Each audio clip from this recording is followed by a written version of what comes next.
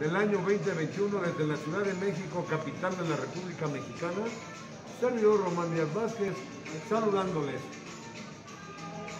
Tenemos hoy el anuncio, la entrevista al presidente del CONA, maestro Francisco Muñoz Apresa, quien nos va a hablar sobre la creación del Frente Nacional en Defensa de la Ciudad Social y Solidaria desde luego de la UMA y otros temas. Con un saludo del servidor Román Díaz Vázquez, dirigente también del Movimiento Constitucionalista Defensor contra la UMA y de Pensiones Guadiana, con un saludo de Roberto Villaseñor para todas y todos ustedes, de Juan, Montu, Juan, Juan Montúfar López, Juan Montúfar López, de Gabriel Díaz Morones, saludos a Durango, Gabriel Díaz Morones y todo el norte de la República, también de Juan Manuel Brown Salinas, de María Leticia Pérez Hernández, de todo un equipo de abogados y de dirigentes sociales, Gonzalo Nabolanché, César Caballero, fin, etcétera, etcétera, y desde luego en defensa de pensionados Guadiana, Gabriel Díaz Morones, con la entrevista aquí para el presidente del CONA, quien nos va a hablar de este Frente Nacional en Defensa de la Seguridad Social y Solidaria. Francisco Muñoz Apresa, experto en Seguridad Social. A ver, de hecho, el 30 de septiembre, en la Universidad Obrera, nos dimos cita muchas organizaciones de jubilados y pensionados para tratar la forma de organizarnos y formar una organización tal que sea posible que nos dé la posibilidad de revertir los efectos del neoliberalismo que se apropiaron de los fondos de pensiones de los trabajadores y que hoy mantienen en crisis a los sistemas de pensiones, fundamentalmente como un primer término. Al ser solidaridad social, tenemos que abarca la cuestión de la educación, del deporte y todos los demás que tienen que ver con la seguridad social y solidaria porque queremos que el Estado se responsabilice del pago de las pensiones y se solidarice y se responsabilice del pago de todo lo que tiene que ver con la seguridad. Veamos, el frente se llama Frente Nacional en Defensa de la Seguridad Social y Solidaria. Este frente agrupa a organizaciones y a trabajadores jubilados y pensionados también de todo el país.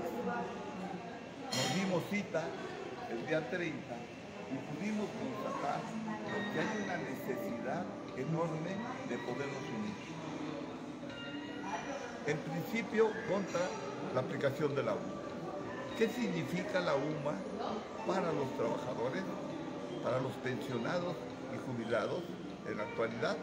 Significa ya, por entrada, de una reducción en su capital para poder vivir en su pensión del 36%. Nada más ahorita.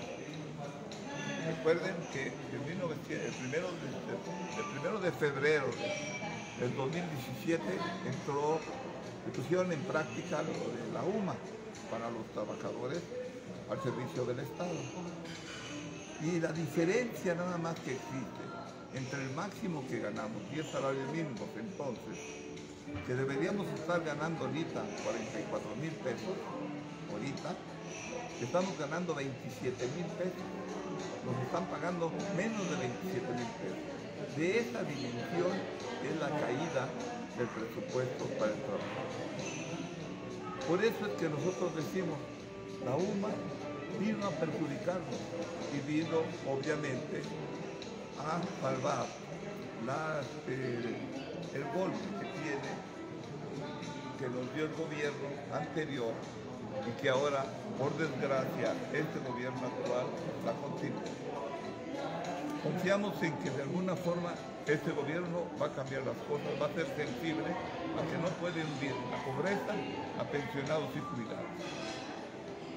También estamos en contra de las afores que es un golpe para, los jóvenes tremendo.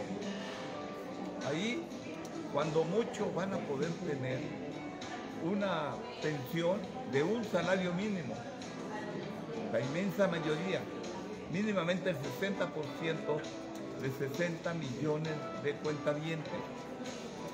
Estamos hablando de 36 millones que van a vivir no de lo que ahorraron, sino que van a vivir de lo que les tiene que compensar el gobierno haciendo un cargo para el gobierno y un negocio para los bancos.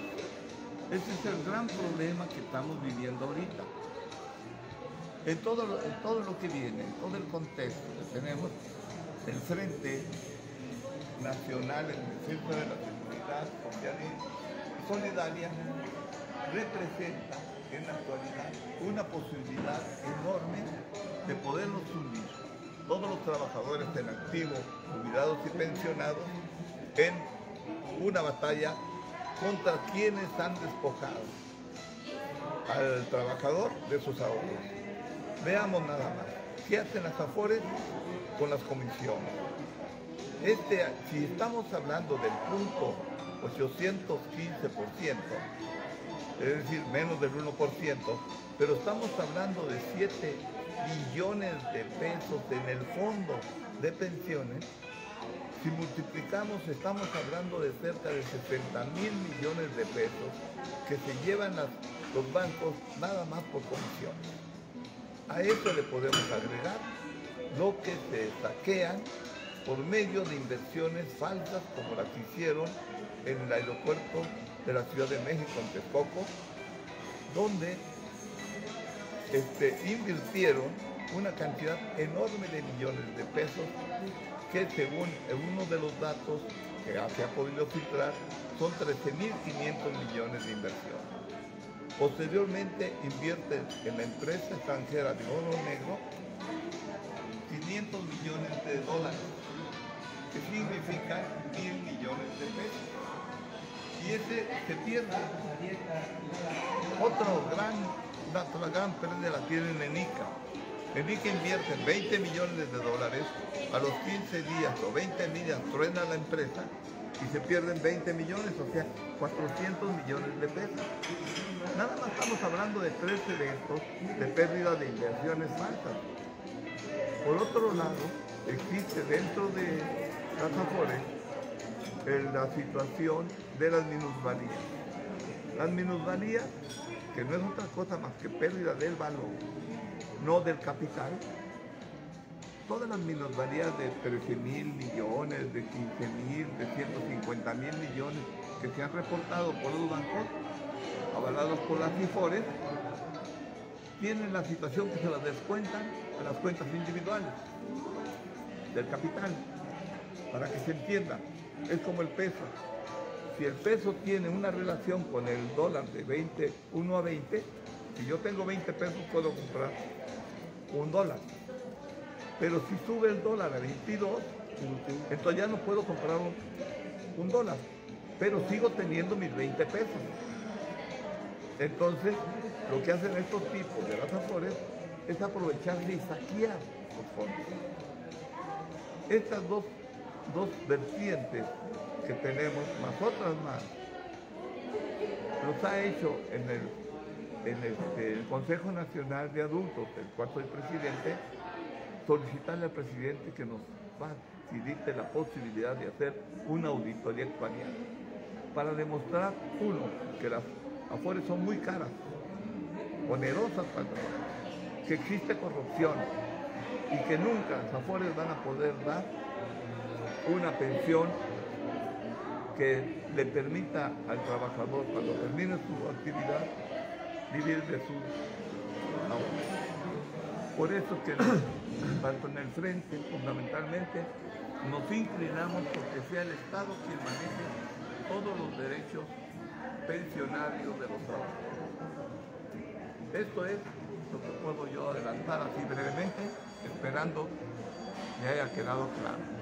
Muchas Maestro Francisco Muñoz Apresa, Victorio, a todos los pensionados, jubilados, a toda la ciudadanía en general que nos estén viendo aquí en este programa del movimiento defensor constitucionalista de pensiones, Mariana y jubilados contra la UMA, contra la UMA.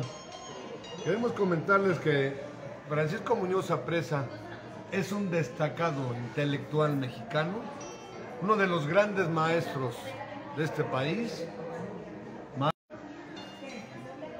insigne y brillante profesor universitario en la Facultad de Economía, con estudios de actuaría, matemáticas, ¿verdad? El mismo Juan Montúfar aquí presente, ¿verdad? Eh, Juan Manuel Raúl Salinas. ¿Afecta a, a quién es la UMA? Bueno, la primera pregunta.